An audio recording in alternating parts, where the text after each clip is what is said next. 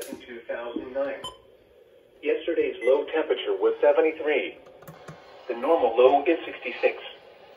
The record low is 44 degrees, which was set in 1997. No precipitation fell yesterday, which leaves the monthly total at 0.00 inches. The total precipitation for the year still stands at 15.74 inches.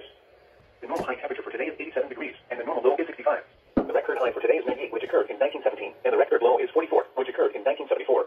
Sunrise today is at 7.39 a.m. and sunset is at 7.07 p.m. Here are the 10 a.m. South Texas weather observations. At Laredo, cloudy. Temperature 68 degrees, dew point 55, and the relative humidity 63%. Wind northeast at 12 miles an hour. The pressure 30.24 inches and rising. Across the state, Nevada, drizzle. 67 degrees. Carrizo Springs, mostly sunny. 70 degrees. Hebbronville, cloudy. Temperature 60 degrees. McAllen, cloudy. 72 degrees. Cotulla, cloudy. 69 degrees. Del Rio, sunny. 69 degrees. San Antonio, cloudy. 66 degrees. Corpus Christi, cloudy. 66 degrees. At 9 a.m., the cold front was located from Port Mansfield to Donna.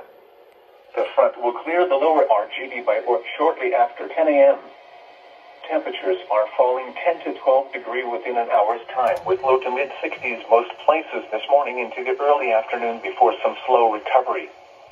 Winds are increasing from the north and northwest at 15 to 25 miles per hour as the front passes and will slacken 10 to 15 miles per hour a few hours in wake of the front. Showers and isolated thunderstorms are possible through the day with heavy rainfall ending this morning. The forecast for the Laredo area.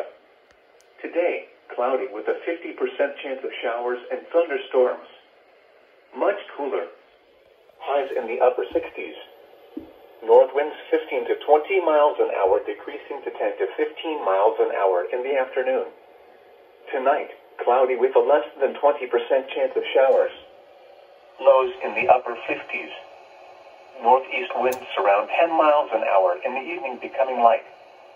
Saturday,